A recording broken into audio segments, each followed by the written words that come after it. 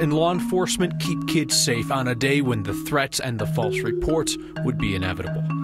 Remembering Columbine's story of resilience for the man who recorded it, word by word. Truth testing the claims you're seeing about repealing Denver's camping ban for people who are homeless.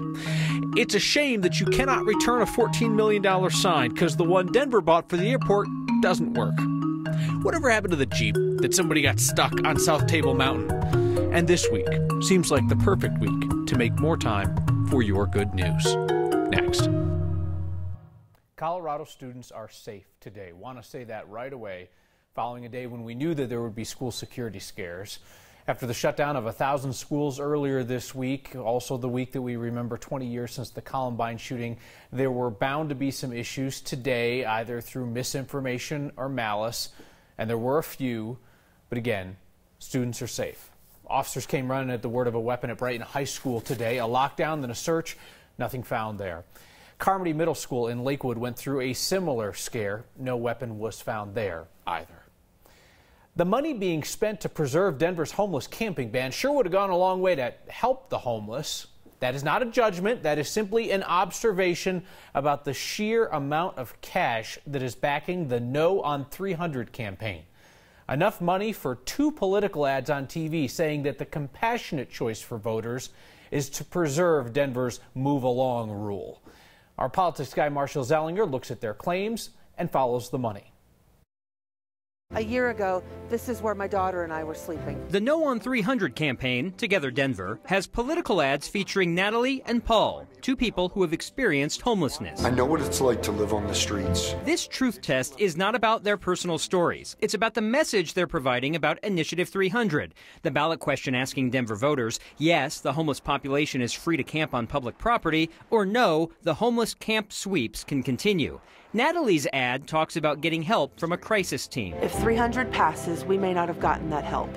It prevents police and service providers from approaching homeless. This is an overstatement, but the city of Denver is concerned about getting sued. The actual ordinance for 300 states it shall be unlawful for, let's call this next part police and service providers, to harass, terrorize, threaten, or intimidate someone benefiting from the rights of 300. It goes on to say requesting ID by any person would be a civil rights violation unless supported by reasonable suspicion of a crime. So 300 would not prevent police and service providers from approaching the homeless. If they did, though, it's not clear if it would be considered harassment. Allowing homeless people to camp in parks and public spaces isn't a solution. It creates public health and safety issues. There is some truth in the second half of this statement. Just Wednesday, Denver cleared out the sidewalks near the Denver Rescue Mission to address public health and safety concerns. Food leftovers that attract rodents and pests, human and animal waste that could lead to communicable diseases, and discarded needles. But the city attorney's office told me last week if 300 passes, police would still be able to enforce health and safety laws if there were visible drug use, illegal activity, or unsanitary conditions. Through the end of March, Together Denver raised more than $1.5 million, $200,000 from the National Association of Realtors. Why? A spokeswoman told me 300 does not address the root cause of homelessness or provide funds for housing and mental health services. Do they provide funds for housing and mental health services?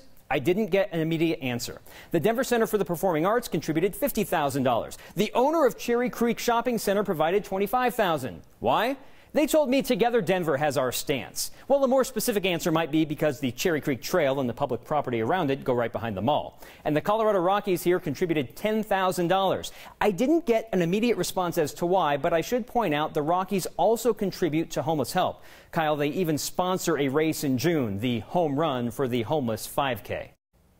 Marshall, thank you. So Denver voters should have a ballot by this point. If you don't have it, you're expecting one, you can call 311 to check.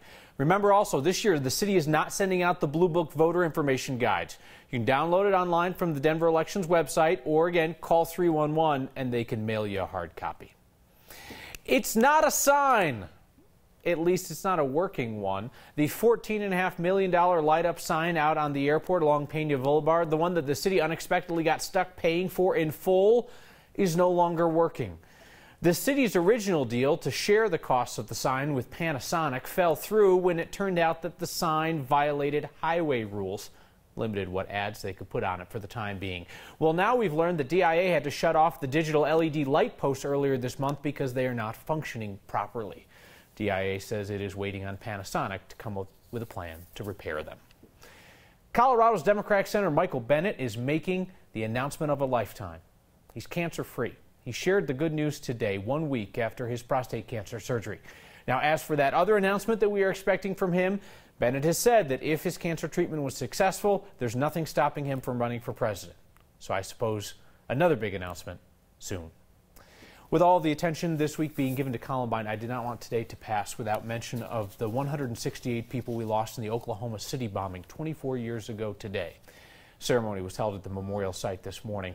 Members of the community read each name aloud, including those of 19 children.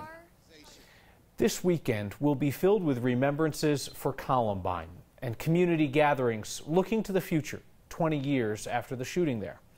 Kevin Vaughn from our 9 Wants to Know team covered the shooting and the investigation and the community's recovery in the decades since. Kevin took a moment today to reflect.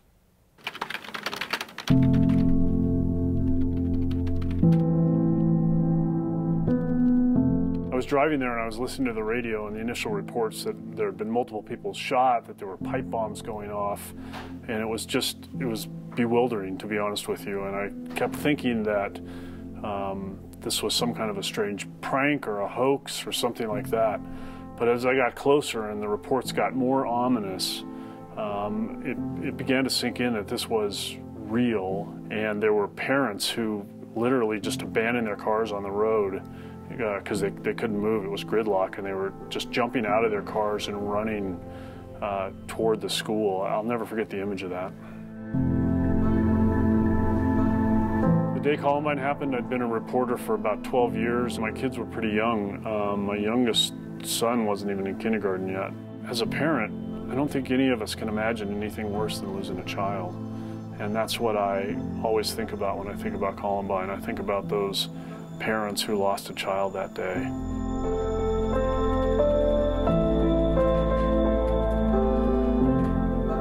It is hard to talk about. I was, uh, I was um, thinking about the children who died last night um, at a public event that I was at, and I got a little bit emotional thinking about it.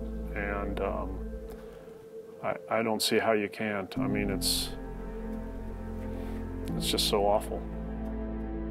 The newspaper that I was working at brought in counselors and made them available to us for a long time after Columbine, and I took advantage of that.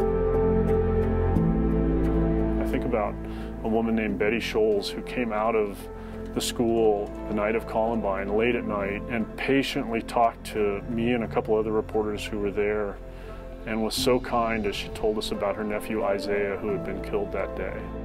And I think about so many other parents who allowed me to spend so much time in their lives and in their homes. That's what I think about. I think about those people and and what a debt of gratitude I owe to them for trusting me to tell their stories. Kevin mentioned having access to counselors after the shooting, and we want to remind you that there is always someone there to listen and to help if you need it. The Colorado Crisis Services offers support 24 7. You can call 1 844 493 8255 or text the word TALK to 38255. Some of you, I'm certain, will never forget the 13 names and 13 faces, but for some others, I'm sure they have faded from memory in the last two decades. Colorado made a promise to Columbine to never forget.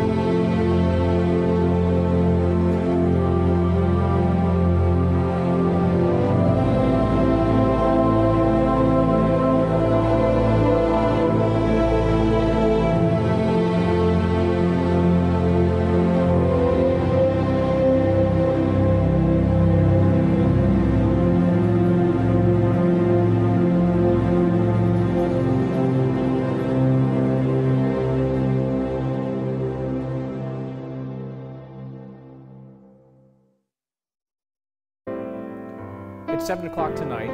9 News will air a special documentary. Survivors, families of the victims, and people whose lives have been touched by the Columbine tragedy will share their stories. You can stream that documentary right now on the 9 News YouTube page and on the 9 News streaming apps on Roku, Apple TV, and Amazon Fire. A high school senior wrote to heal. I think the song's written in a way that mirrors our emotions. And now it's being turned into music. Let's start the weekend on a high note with your good news. My good news is taking a walk on a beautiful day and running into a moose. And someone thought they had outsmarted the system. But this is not how you Colorado. Next.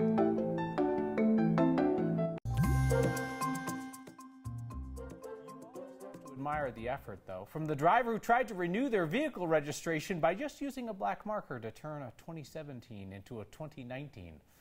The Mesa County Clerk and Recorder's Office shared the photo of the close but not close enough effort. Pro tip the registration stickers are a different color each year, so even if the 9 looked better, they can still catch you. Another Not How You Colorado update tonight. The Jeep that got stuck on South Table Mountain was returned to its owner today after being towed off the mountain.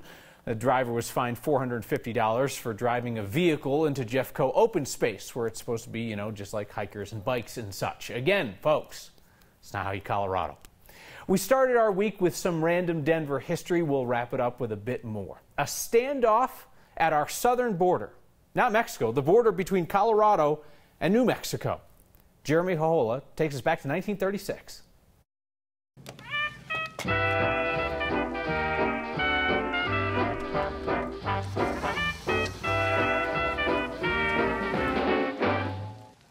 Denver guardsmen get out guns and head for border. The byline from April 19, 1936, was printed in the Rocky Mountain News one day after Governor Edwin Johnson had declared martial law along Colorado's southern border. The paper reported the governor ordered the guardsmen to the border to repel a threatened invasion of alien beet workers and indigent laborers. Troops patrolled highways, inspected trains, and set up checkpoints at the border to turn away anyone looking to enter Colorado for work. The declaration sparked a brief border dispute between New Mexico and Colorado. Ten days later, Governor Johnson called the troops back after the New Mexico governor there threatened to boycott Colorado products. A high school senior's passionate plea about school violence turns into music. Every time I sing the song, it's like that gut wrenching, like emotion. That will be powerful. Then your good news will be positive. Next. Always wanted to show up in this show twice. That was super fun. Mike's back together. Here we go. Fabulous Friday, sunshine and 70s. A nice day today. It goes even warmer tomorrow, but there's a storm off to the west of us. Going to change things just in time for the Easter Sunday holiday. And for outdoor plans, plan on a little bit of rain. Temperatures in the low 60s early on, and the rain will really pick up after lunchtime. Between now and then, though, mild air, winds out of the southwest bring us a partly to mostly sunny day tomorrow and temperatures are going to be really nice to be outdoors. Tonight, fair skies 47, full moon tonight. Tomorrow with sunshine 78, an isolated evening storm. Cloudy and cooler for Sunday and Monday with occasional light showers moving out Tuesday. Head of a nice warming trend for Wednesday and Thursday. Here's your weekend forecast in detail. Saturday looks to be the pick day for outdoor activities. Uh, again, not an awful forecast, but a little bit of rain on Sunday, Kyle. Thank you, Kathy. Acquired Arvada West High School is preparing for a rare moment the chance to debut an original song written by a renowned American composer. It's a piece inspired by a former student. Our Nelson Garcia explains. The words they're about to sing comes from a place they know well.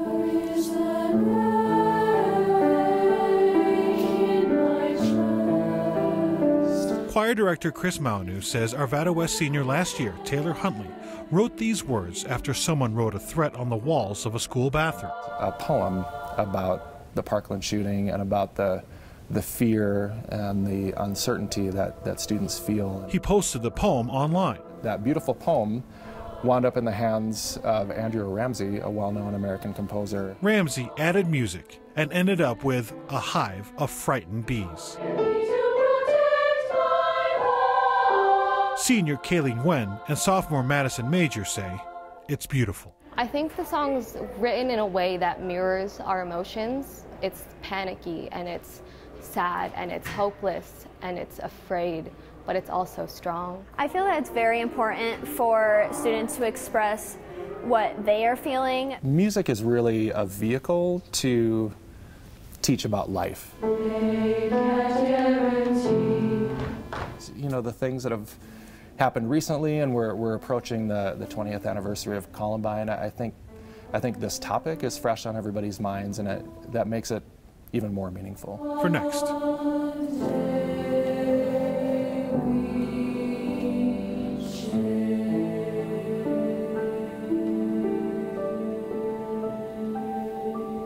I'm Nelson Garcia.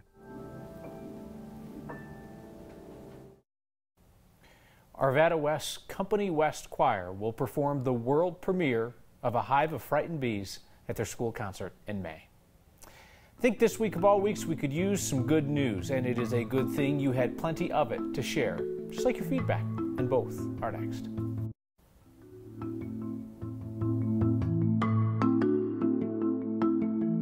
I am thinking we are due for some good news right about now, so let's hear yours.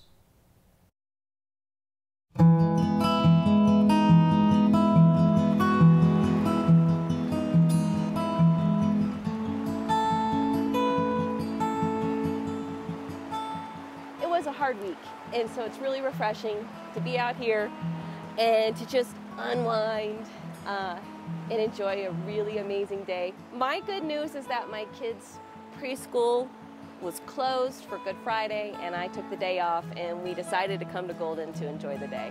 Well, my good news is Chimney Gulch that I'm going to ride. Uh, the weather, uh, I was blown away by how many people were outside in downtown Golden. Pretty surprised, but uh, seems like half the city is outside today enjoying the weather. My good news is taking a walk on a beautiful day and running into a moose.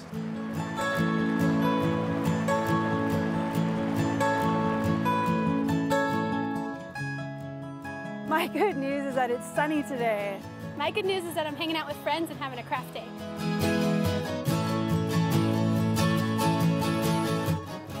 Oh, yes, the moose. And there's a moose.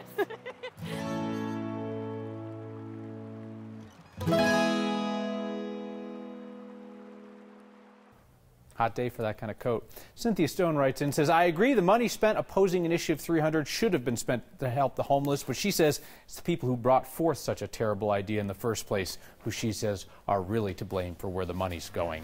Brent Olson writes in, Hi Kyle, I'm a 62 year old Colorado native. Is it me or is everyone in Colorado talking like a valley girl? You mean like this? I didn't notice. See you next time.